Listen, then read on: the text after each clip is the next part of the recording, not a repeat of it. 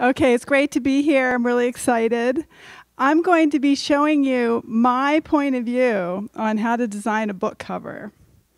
There are many points of view on this subject, but this is mine, and I hope that you will love it. Um, and I'm going to be showing you examples from commercial publishing, things that I love, and some things that I totally hate. And I'll be showing you some things from my own students from some of the books that we've done together, where we look at book cover design and how to do it. And I'm going to show you examples from the contest things that won and things that lost. Okay? But it's all beautiful, it's all work that, that people worked hard to create and good, good ideas.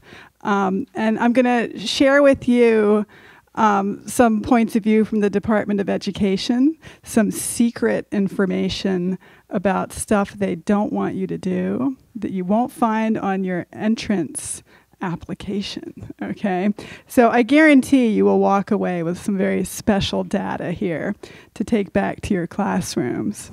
Okay, so I have a list of things I want to tell you, and you might notice that I skipped number one because we're going to do that last, and I'm going to get your help uh, doing that at the end. So I'm going to start by talking about some of the formal ideas in making a book cover. And later at the end, we'll talk about what it might mean or what kind of images you might use. But I'm going to start just with form. So, number two is plan where the text is going to go. Okay?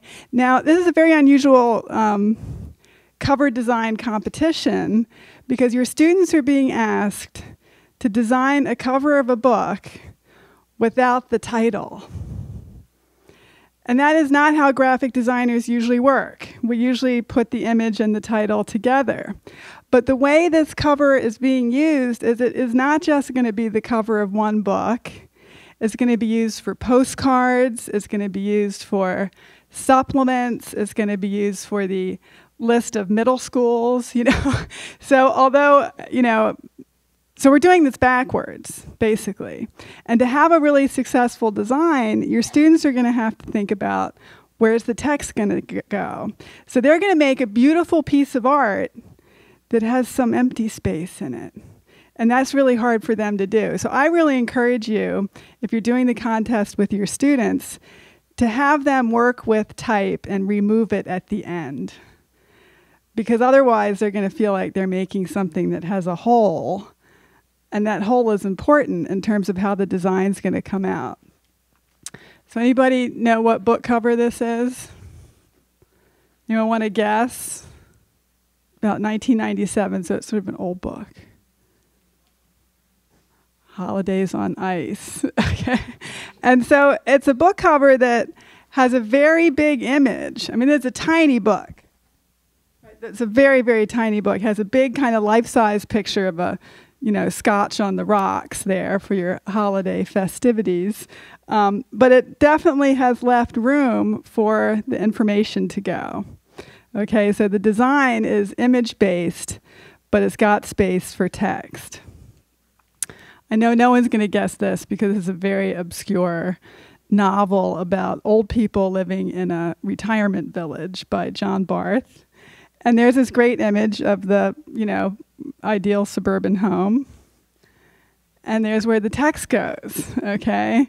So we want to be thinking about, you know, making space for text.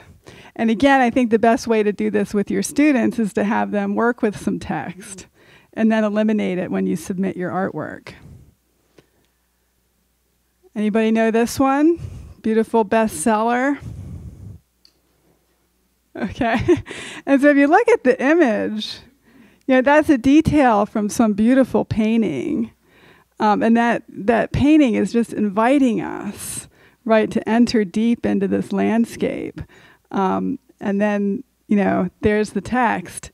And there's simply, you know, the, the title of the book is able to completely dominate that image, right? We have no doubt about the title. Um, and yet the, the image makes this wonderful, mysterious background for the title of the book. So here's a winning cover design. Um, and here you can see that the design of the book includes a very large scale image, but also this wonderful device for putting the type in. And you can see that, you know, the Department of Education really has to be able to do this text themselves. This is information that's going to change. They have all different uses for the image. Um, so it's very important that they be able to add things to the image and that the design that your students do be able to accommodate that, right? And so this is a very successful design um, in terms of it having all these functions, being very reproduction oriented, really making a place for the information. Okay, here's another one create a focal point. And this is related, right? Because if you think about a book cover, it is different from making a painting, right? It has to bring our attention to something, and usually it is bringing our attention to the title. Um, this is a museum catalog. Um, this is one of the things I hate. Like, I can imagine the curators sitting around and telling the designer, you know, we must have four pictures on the cover, right? And I look at this as a designer, like, I want to redo everything, right? Like, if you invite me to your house, I'll want to move your furniture around and, you know, suggest new drapes. Very annoying. Um, and any, if I look at a magazine or a book, I immediately want to change it, right? It's like, it's a sickness. Um, so I look at this and I'm like, wow, wouldn't that be nice if we could have a book cover that just had one picture on it instead of these four little tiny pictures? Um, so I redesigned this on the, on the train this morning. I think it's much better now right? Okay, one picture, and I know where to go. Now that means making a choice, right? That you can't say everything on a book cover. Um, and I think designers, that's how they want to think. Designers like things to be simple and clean and singular, one idea. You can't say it all on the cover of a book. Um, so, so here's a book I, I pulled off my shelf this morning. This is how I wish it looked.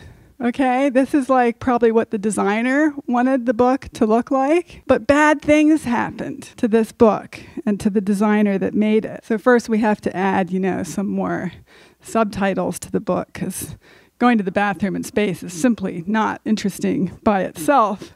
We got to find out, you know, how long the guy was up there trying to do his business.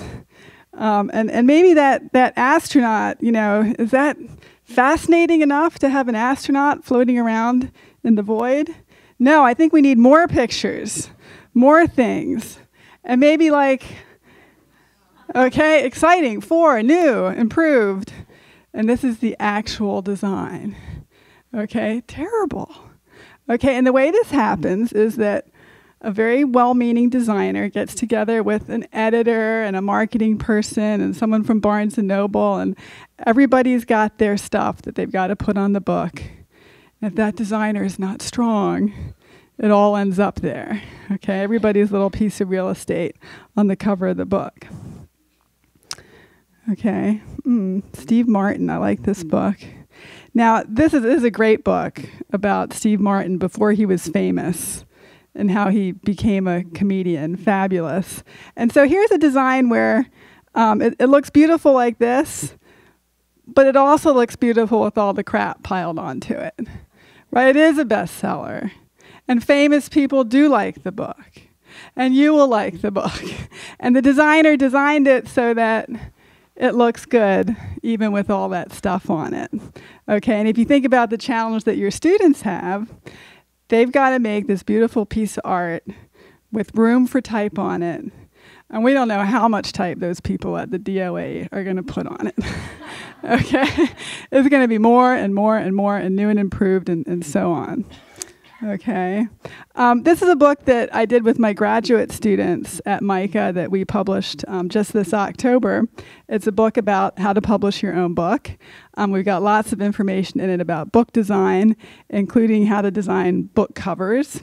Um, and this is the cover for the book. And, and here, you know, we, we have all these images, which sort of goes against my rule, right? One picture. But the publisher insisted that we show the kind of whole process of publishing a book. And we did it in such a way that those images become a frame for the text. Bring your attention to the text. If we'd done the book like this with the white background, you know, it becomes really busy, right? And you really become over aware of all those five or six different pictures floating around the book cover.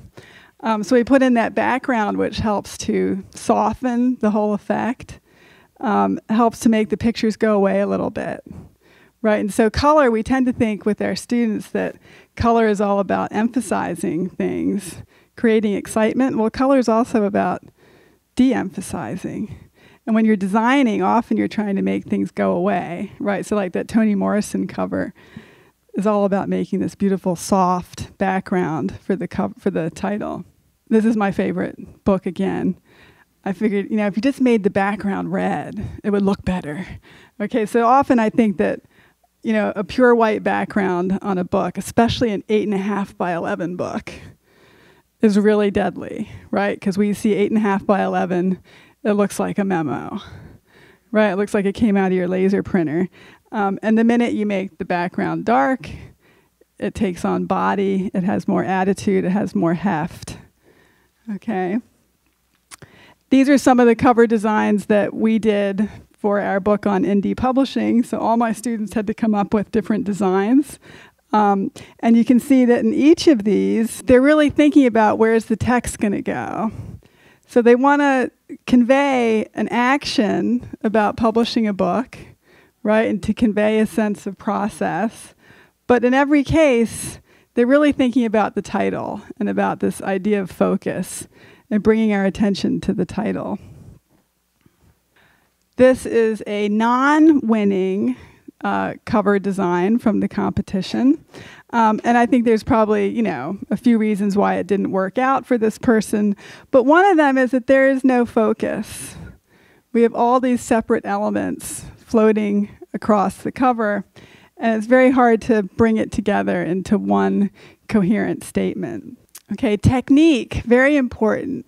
Um, your students are going to be working in all different kinds of techniques. That's part of their inspiration. They have skills in different areas. You guys are exposing them to different kinds of techniques. When you're working in design, you have to think about how that technique uh, relates to reproduction, to creating something that's going to be printed. So some of the techniques we used, you know, in our studies for the publishing book, photography, okay? Photography is wonderful. Not easy, okay? If you're doing photographs for reproduction, you need very high resolution pictures. And that means 300 DPI at 8.5 by 11. You're not going to do this with your cell phone. Right, so students are going to do sketches with cheap cameras, and it's not going to be suitable for reproduction. So it's very important if they want to work photographically. Um, the photographs have to be original. They can't be taken off the internet. They belong to somebody else, not legal. Okay, so it has to be original photography. It has to be high quality photography. Has to be high resolution. Okay, very important. So obviously students that are studying photography are going to know how to do that, but others are going to need some help um, to create um, images that are suitable quality for reproduction. There's a beautiful book cover um, that I really like that uses photography. Makes it vague. Sometimes being vague is better than being specific, right? So it's showing an idea of a city, but it's not a specific city it's generic, it's universal. It's a little bit like that Toni Morrison landscape. Beautiful, simple cover design. This is a, a non winning cover from the competition, one that I think is really cool. I really love it. Um, here's an attempt to do a three dimensional solution to a book cover. And of course, that means that, you know, if it's 3D, you're going to have to photograph it. So the real test of a design like this is not how cool is the sculpture, but how cool is the photograph? Because at the end of the day, the photograph has to be printed and reproduced. Um, so this is like a great idea that maybe if it had been photographed better, could have made it as a as a as a winning um, entry. Um, digital montage is another area that I'm sure many of your students are interested in. A lot of the um, previous submissions that, that we've looked at are montages of different photographs put together. And the problem with many of these is that the photographs are not original, so they're not legal. They're not high resolution, so they don't reproduce well. So this is an area that your students can do, but they really have to work with high quality imagery. This particular design is all scanned two-dimensional stuff. And so it can be scanned at very high res and it turns into a cover that would reproduce well. This is a non-winning cover design from the competition, and we can see that it is very low resolution. Okay, this is not suitable for reproduction. So whatever you might think about the idea is not going to hold up printing 300,000 copies of this. Here's another non-winning design um, example of photo montage, um, digital montage. And I think here, you know, the student would have done better not getting so involved in all the lettering, right? So that the image in the background is kind of interesting, but the lettering is sort of over the top, over processed, too much. Students love Photoshop. A little Photoshop goes a long, long way. Okay, so here we got a little overactive with the Photoshop. Um, also, it doesn't really say anything about school right? And one of the, the, the secret laws that we'll learn uh, later is no faces. Okay, so here's like girls love to do big eyes and beautiful pictures of faces, but that doesn't really say anything about school and high school and education. Um, Vector-based illustration, so using Adobe Illustrator or similar software, gets you around the problem of high resolution. And so many of your students, I'm sure, are using this software, and they can create images where you don't have to worry about the 300 DPI rule. Um, so these are examples from our book where we did illustrations that are vector based and can be reproduced at any scale without any problem. And here's one from a winning uh, cover design from the competition that's a vector based illustration and very creative, very nice um, interpretation of the city. Um, fun, you know, and so this is digitally produced, uh, but it's done in a way that can be reproduced, which is essential. This is um, design has to has to be manufacturing ready. And then there's art. There's the real stuff, handmade, hand painted images. Um, this is by Maira Kalman, who's one of the great children's book designers and um, illustrates books for adults as well. And it's a beautiful book cover that is hand painted, and that's a great medium for students to use for this contest. The computer is not everything, and you can get beautiful results, obviously, by hand. This is beautifully designed. It's not just a beautiful painting, it's also a simple, clear design with a focus, with a clear background, with space for the type. Um, so it's hand done, but it's following the same rules of design that we would ask from a, a computer generated um, project. This is a beautiful one, a non-winning uh, cover design. I'm not the judge. I would have picked this. I think it's fabulous. Beautiful hand-done drawing and painting um, that has focus. It has a place for the type. It has uh, this kind of magic, um, metaphoric attitude to it. It's not too literal. Um, and this is a winning design that has this beautiful painting of um, school related stuff and the background of the city, the skyline behind it. Um, beautiful. I don't know who the, the teacher is for this, but really beautiful painting, beautifully done. Of course, the minute I look at it, I want to redesign it. Okay, because here's one where we have um, this wonderful painting, but the design of the book is all separate, right? It's like a mat board around the picture. So I'd rather see it be like that, right? And have the painting take over the whole cover and get the type out of the way. Um, one of the things that you'll see in the entry form for the competition is that students are designing the front of the book and also the back. And so designing the back is an interpretation of the front that takes on a, a, a different feeling but continues the idea from the front.